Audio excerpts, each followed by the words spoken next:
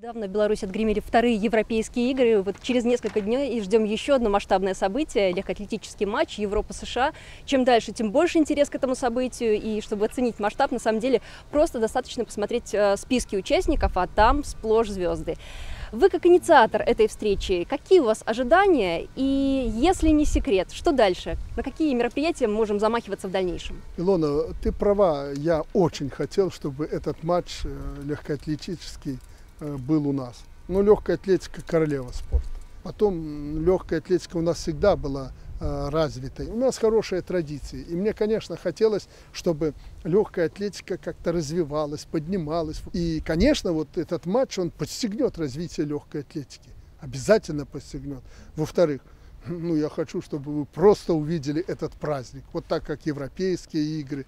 Все кричали, вот, вот, вот, да мы сэкономили на европейских играх деньги. Даже не все использовали, которые выделяли. Мы ничего не потеряли, только в плюс. Тут же таки этот матч.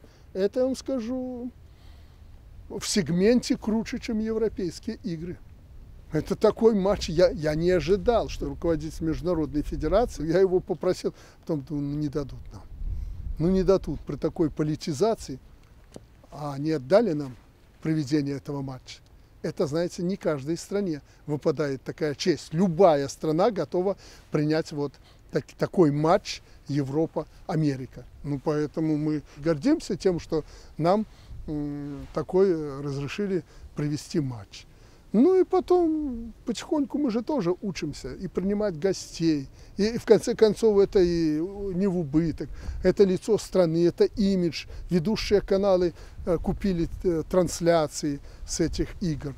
Вот без этого не было бы завтра ни чемпионатов мира, ни этапов Кубка мира. Вот все увидели, что мы не просто можем их провести, мы можем обслужить людей, можем принять их. Люди с душой отнеслись к этому. Открытая душа наших людей. И все с ума посходили иностранцы, которые приехали от доброты и гостеприимства наших людей. А следом тысячи людей, сотни тысяч приедут в Беларусь. Но это же туризм, за который мы боремся. Вот что такое такие форумы. Ну, дальше у нас чемпионат мира по хоккею с латышами мы будем проводить. Я так грешным делом так прикидываю, думаю, Конечно, трудно нам соревноваться с этими гигантами, но с украинцами, допустим, или с россиянами мы можем Олимпиаду провести. Объекты у нас готовы под Олимпийские игры. Вот сейчас национальный футбольный стадион построим, и построим для водных видов спорта. Там все можно будет проводить. Останется футбол. В России и вся инфраструктура создана под футбол. Можем запросто с ними принять Олимпиаду и здесь в основном летнюю провести в Беларуси э, с помощью россиян там или украинцев. Понимаете, у них э, есть э, объекты, которых нам не хватает. Мы закладываем хорошую основу для того, чтобы к нам приезжали, нас любили, нас уважали, ну и чтобы нас, наши спортсмены нас радовали.